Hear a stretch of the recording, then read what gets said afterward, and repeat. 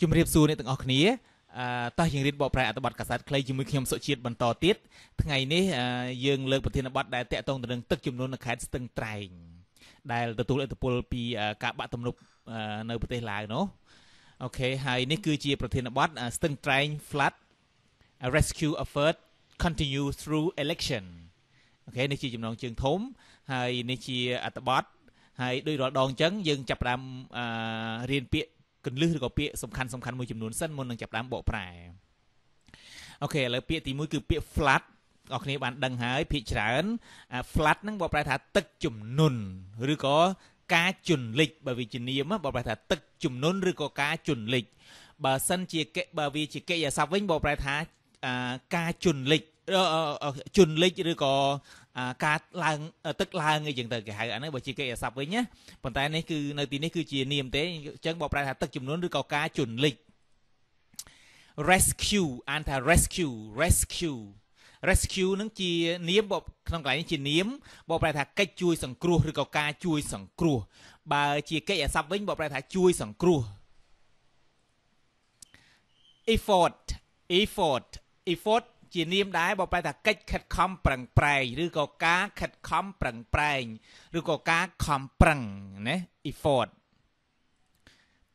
nation nation កន្លែងហ្នឹងបើប្រែថាជាតិឬក៏ប្រទេសឬក៏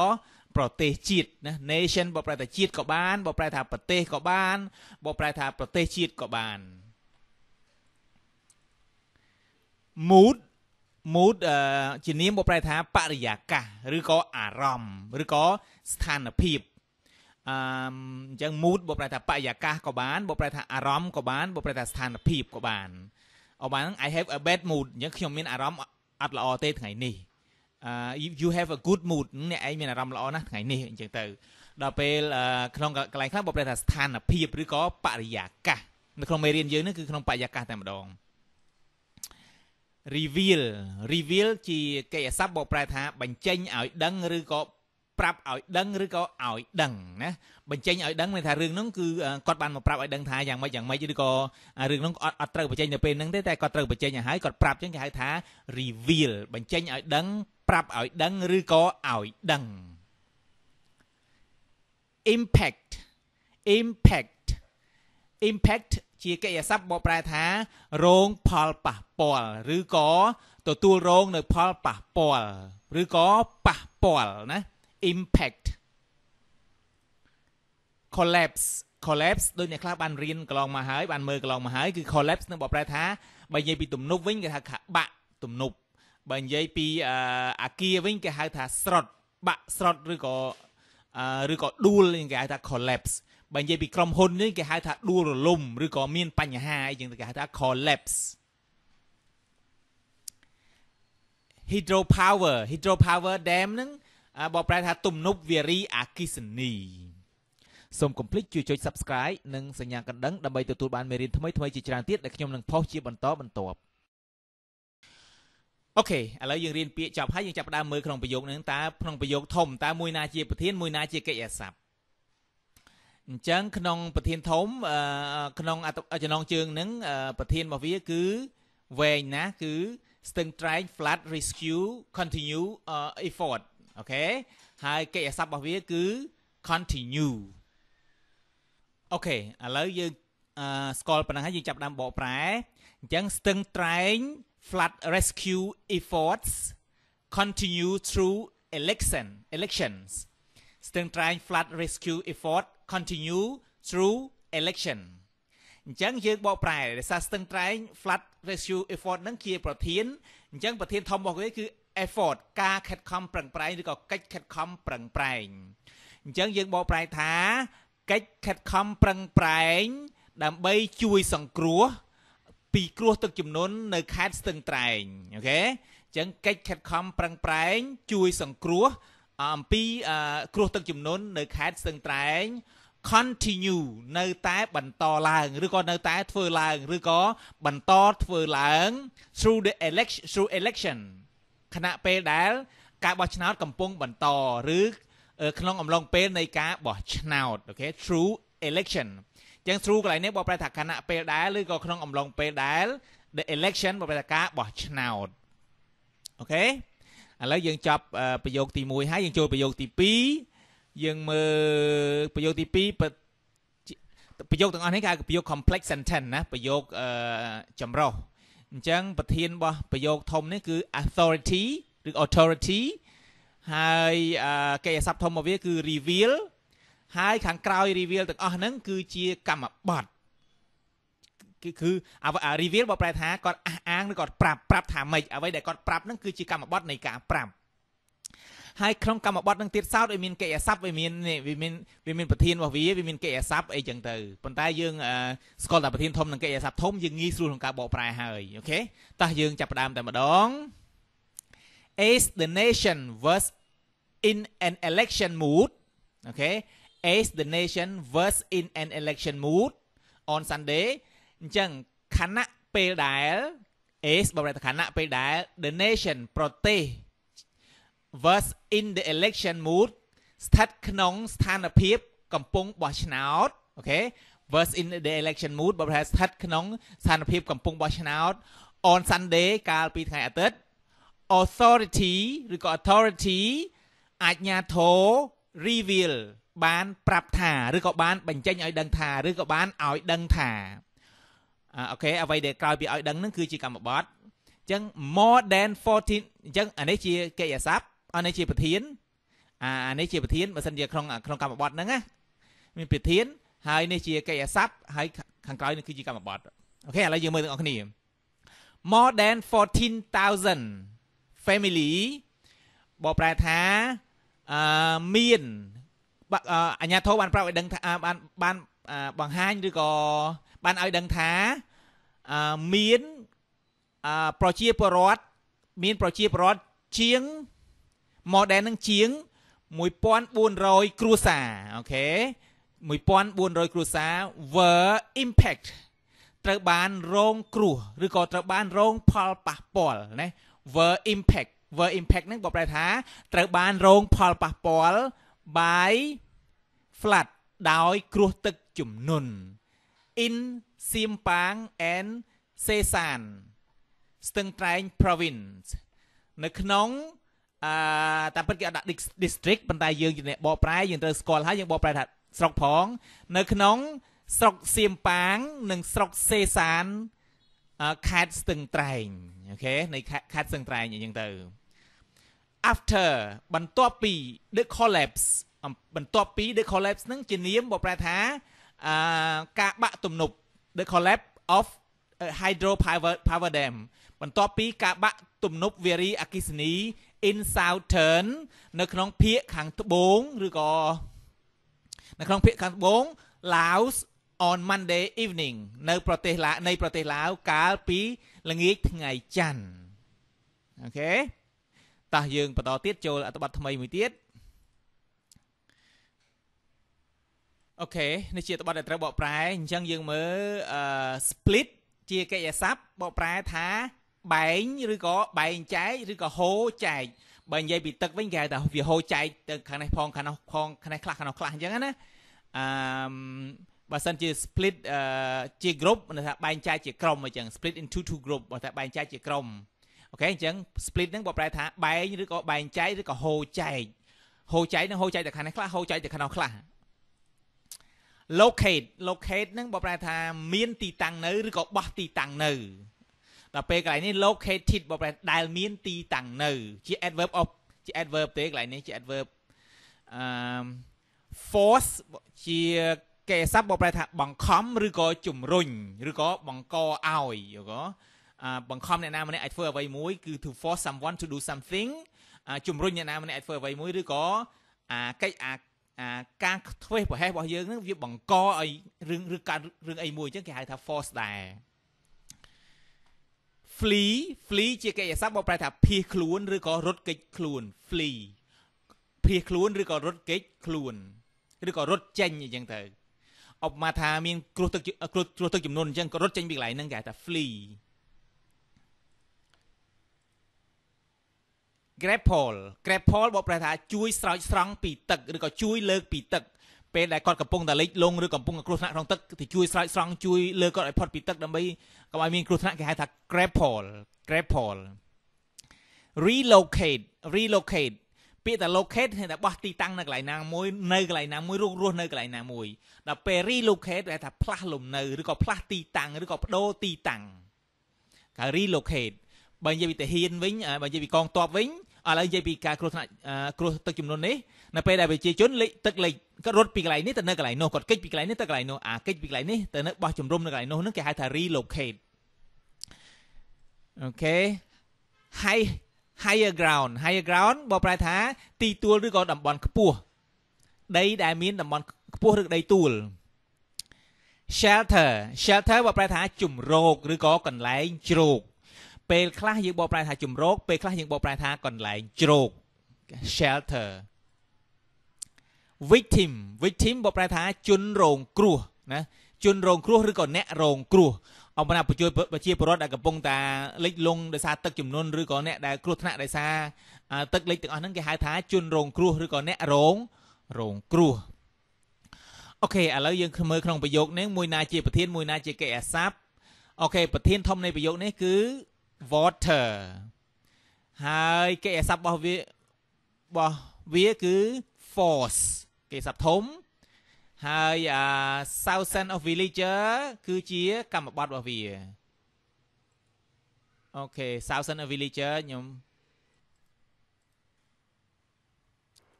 អូខេអញ្ចឹង Southern of Villager ជាកម្មបត្តិហើយអឺ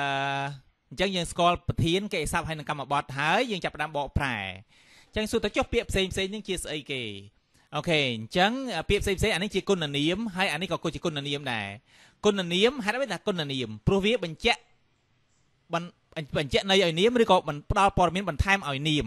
វាផ្ដល់យ៉ាងម៉េចឥឡូវយើងមើលទាំងអស់គ្នាឥឡូវពាក្យ water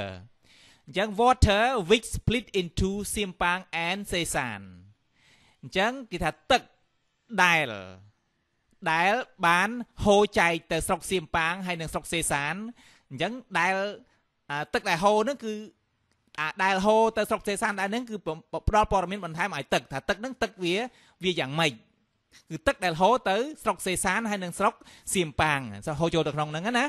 អូខេអញ្ចឹង locate about uh, 70 km from Khmer Lao border អញ្ចឹងក៏អានេះក៏ជាគុណនាមដែរជាគុណនាមបកប្រែថាដែលមានទីតាំងដែលមានទីតាំងប្រហែល70គីឡូពី ព្រំដែនឡាវអាដែលមានទីតាំងអឺ70គីឡូម៉ែត្រព្រមព្រំដែនឡាវនេះវាផ្ដល់ព័ត៌មានឲ្យទឹកនឹងថាទឹកនឹងទឹកនៅកន្លែងណាដើម្បីឲ្យយើងស្គាល់អញ្ចឹងអានឹងគេហៅថាគុណនាមផ្ដល់ដែលផ្ដល់ព័ត៌មានឲ្យឲ្យឲ្យឲ្យទឹកអូខេឥឡូវជាងចាប់ចាប់ដើមបកប្រែតែម្ដងអឺអញ្ចឹង water which split into Siampang and Sesan ទឹកទឹកដែល អឺហូអឺហូរចែកទៅស្រុកសេសាសៀមប៉ាងហើយនៅស្រុកសេសាន locate about 70 km from Laos border ដែលមានទីតាំងស្ថិតនៅ ប្រហែល about ប្រហែល70 70 km ប្រហែល70 km from the Lao borders ពីព្រំប្រទល់ប្រទេសឡាវ force force ហ្នឹងគឺ water force ទឹកហ្នឹងបានជំរុញឲ្យឬក៏បង្កឲ្យ thousand of villager អ្នកភូមិអាចដែលបង្កឲ្យអ្នកភូមិរាប់ពាន់នាក់ to flee បានរត់គេចចេញឬក៏រត់គេចគេចចេញអឺ their home ពីផ្ទះរបស់ពួកគេ sin monday កាលពីថ្ងៃតាំងពីថ្ងៃច័ន្ទម្លេះ as cambodia rescue worker ខណៈពេលដែលឬក៏ពេលដែលអឺក្រុមក្រុមសង្គ្រោះកម្ពុជា Cambodia Rescue Worker ហ្នឹងបើប្រែថាក្រុមសង្គ្រោះគឺក្រុមអ្នកធ្វើការជួយសង្គ្រោះកម្ពុជា Grab Paul to relocate បានជួយស្រង់ពួកគេឬក៏ជួយស្រោចស្រង់ពួកគេឬក៏ជួយលើកពួកគេឲ្យផុតពីទឹក to relocate ដើម្បីអឺផ្លាស់ប្ដូរទីលំនៅ to relocate them ដើម្បីអាបដូរទីលំនៅឲ្យពួកគេមានថាយកពួកគេទៅដាក់ទីតាំងណាមួយដែលអូខេ sorry កន្លែងនេះ to relocate them to higher ground មានថា